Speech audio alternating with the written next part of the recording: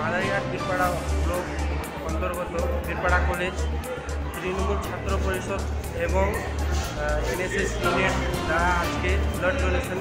camp করা হয়েছে বীরপাড়া কলেজে আমরা স্টুডেন্ট স্যার